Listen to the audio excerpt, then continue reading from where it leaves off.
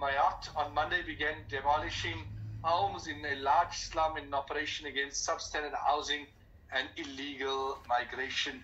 Uh, our guest uh, this afternoon, Andy Vermaut, who is a human rights journalist. Andy, good day and welcome.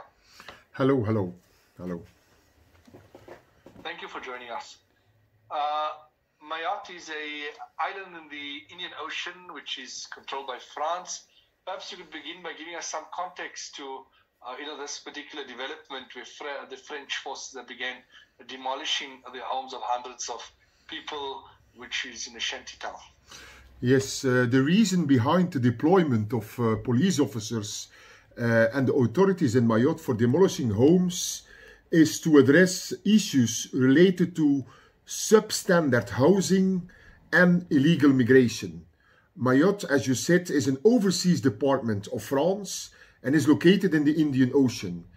This um, uh, island has been facing challenges with bad housing conditions and a high number of undocumented migrants, sans papier in French.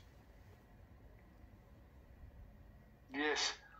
Uh, what is the context to this case? You know, what were the procedures that were taken to reach this particular point?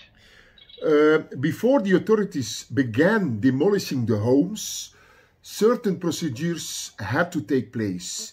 The specific details of these procedures was assessing the legality and condition of the structures, notifying the residents or owners, and provide them with an opportunity to address any legal or safety concerns.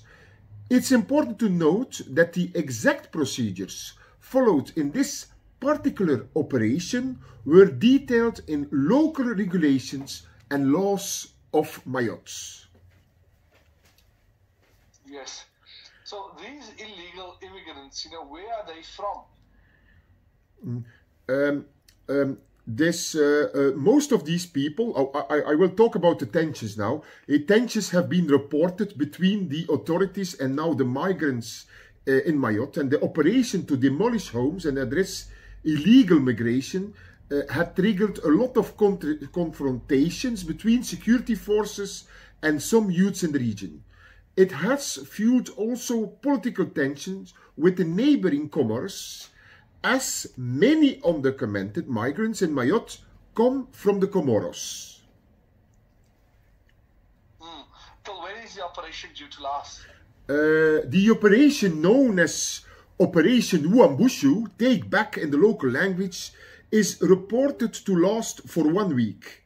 The demolition of the Talus 2 slum, which is part of the operation, was originally scheduled for April 25 but this was suspended due to court decisions. However, subsequent legal rulings authorized the French states to proceed with the demolition right now. Yes. Uh, associations have denounced uh, you know, this as brutal measures violating the rights of migrants, but local elected officials and many residents have supported it. Supported it. Please enlighten us more on that. Yes, regarding the views on Operation Wuambushu, associations have denounced it as a very brutal measure that they believe violates the rights of migrants and their fundamental rights. They argue that it is not a human solution to these complex issues of substandard housing and migration.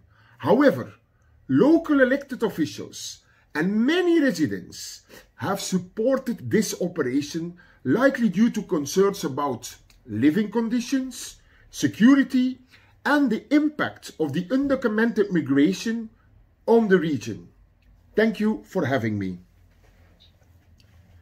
I appreciate you well, Mr. Andy. Thank you. Bye-bye. Bye-bye.